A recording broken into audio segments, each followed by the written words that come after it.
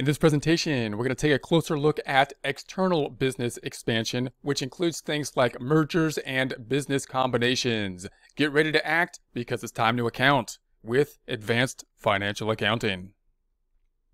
Before we move into the external expansion, you want to give a review and keep your mind on what our focus is. We're talking about a business that is expanding. When we think of it about expansion, we can break that expansion into internal and external expansion. So we have a business expanding into new areas, new segments. We can think of it as an internal or external expansion. In a prior presentation, we talked a little bit more on the internal expansion, in which case you might have a situation where a parent creates a subsidiary or a parent basically just creates another division possibly and expands in that format. Now we're going to be going to the external expansion, in which case we, are talking about two entities. So we have two separate legal entities that in some, or two separate entities in some case, in some way, shape, or form, are coming together. So now we're going to have an expansion where we have an external expansion. So if we're think of it, thinking about this from the from the standpoint of one company, we're thinking about ourselves as one company and we are expanding, then we're thinking about the expansion externally that we are, are going to be combining in some way, shape, or form with another company. Now, the format and form in which that uh, combination can take place can be various. We can have various forms of that combination. It could result in a parent subsidiary type of relationship, or it could result in the parent basically consuming the another company and bringing them into the uh, overarching parent company. So let's talk more about that's what we're focusing in on here that type of external expansion with two separate entities that are somehow uh, coming together. So we have the term business combinations. So when you think about the term business combinations, you're typically thinking of the external kind of expansion. So business combinations, acquiring or combining with other companies, resulting in new areas of product and or new locations. That's the concept of the business combinations. Happens when an acquiring organization obtains control of one or more businesses. So that's going to be a key term, of course, when we talk about business combinations, is this concept of controls, especially if we have separate legal entities.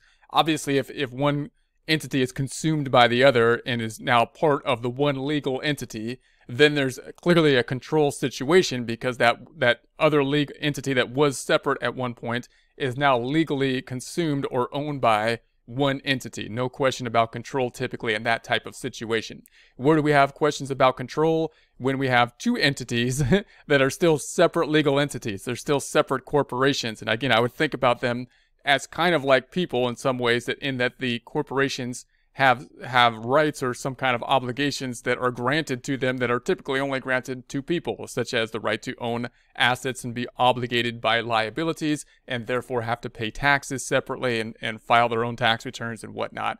So if you talk about these separate entities that have kind of a a, a separate legal structure, separate entities, responsibilities that almost are assigned to people, and and one is has control over the other, that's where you get uh, the more complex type of relationship, especially if the control is, is not complete control. In other words, if you're talking about a situation where one entity doesn't own 100% of the stock of the other, but has a controlling interest, which generally would be over the 50%. So control, the ability direct to direct policies and management. So what is control? That's the ability. So if, if one company uh, obviously, when we're thinking about the concept of control, you can think about it from an investment standpoint. If you ha- have ownership in uh, stocks of a corporation, you are typically are technically the owner of that corporation. However, you exercise very little control over it if the percentage of ownership is very small uh, with regards to the, the corporation. However,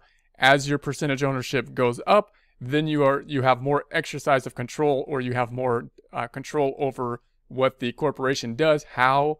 Because you have control over the management in some cases in, in terms of the voting uh, for you know the management of the organization. If you have over 50% control then uh, then you have control over in essence management and have a lot of influence over over the corporation in essence right?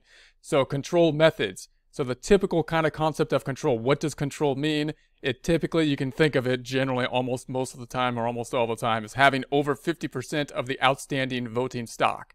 So again, if you're talking about a, an entity, if you're talking about two entities and one entity basically consumes the other one, then and they're no longer two separate legal entities, then there's no question of control. One, there's they've been merged together, and there's no real question. If you're talking about two separate legal entities, still they're two separate corporations, then the concept is 51, 50% over 50%. So in other words, in your mind, when does when does control being hit?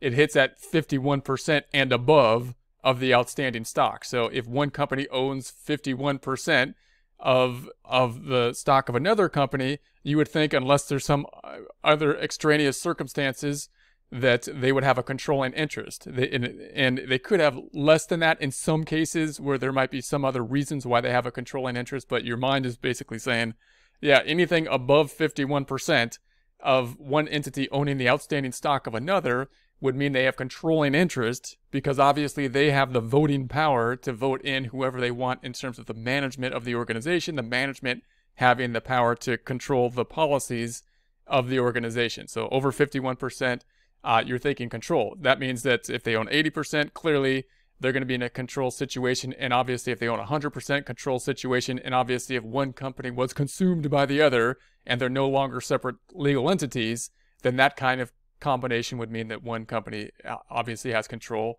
over what used to be a, a separate legal entity. Use of contractual agreements and financial arrangements.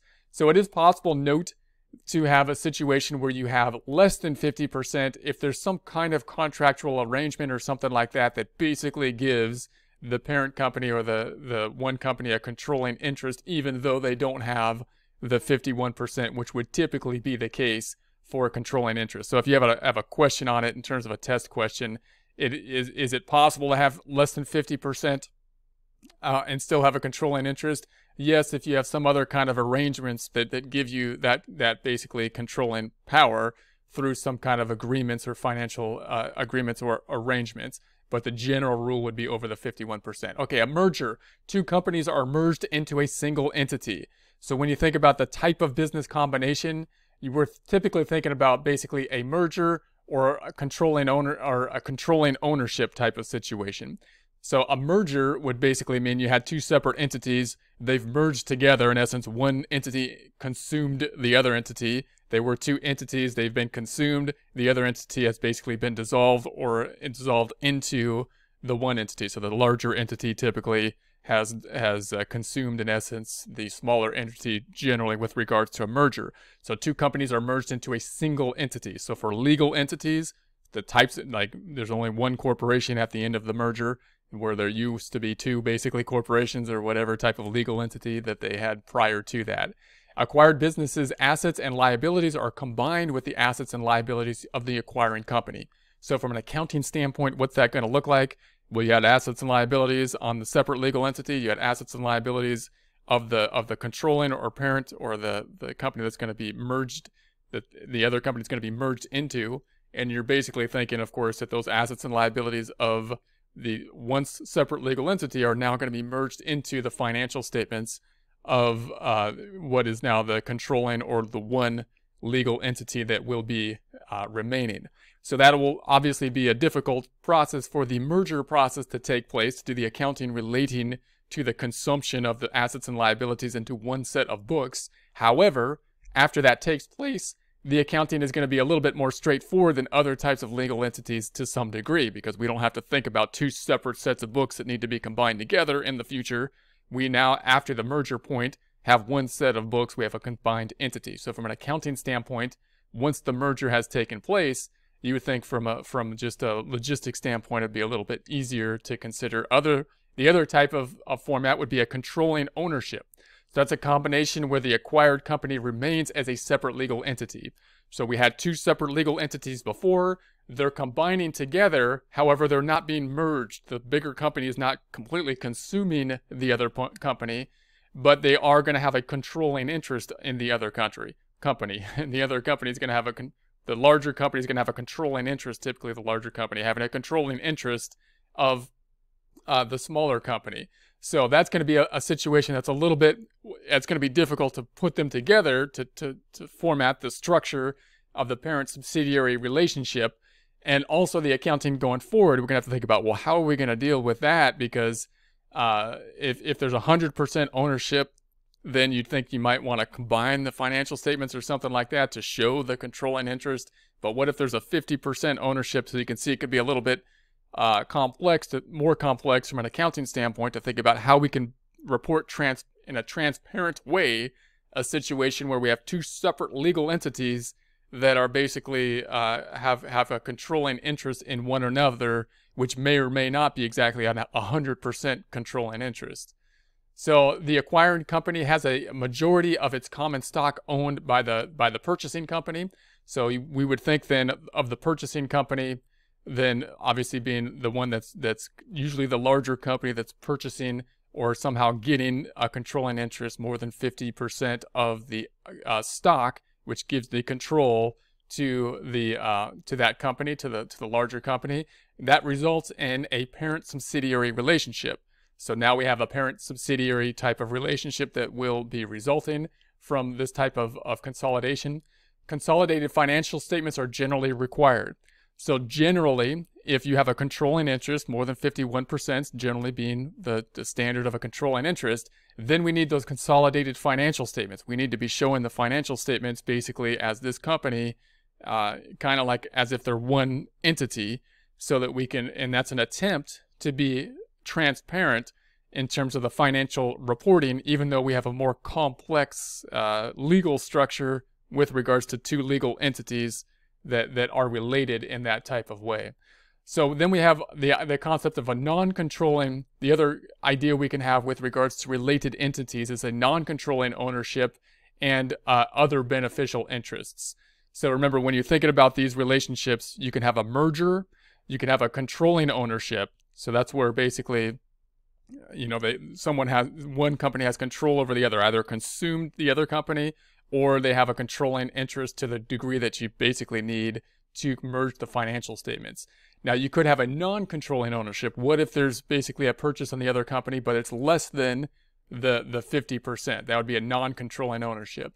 One company purchases less than a majority interest in another. So that means basically, you know, less than uh, like 50% or less generally, uh, does not generally require a business combination or controlling interest. So, uh, so in that case, then, uh, if, if you don't have the controlling interest, the controlling interest, in other words, you could think of as kind of like the triggering factor of when you would basically need to combine the financial statements. So from an, an accounting standpoint, we're thinking, all right, what are we going to do with this?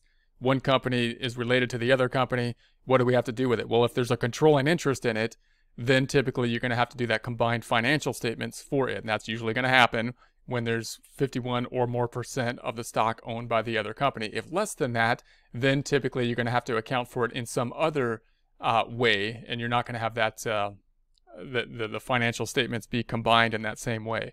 And then we can have an other beneficial interest. It is possible for one company to have a beneficial interest in another without direct ownership. It may result from an agreement between the entities.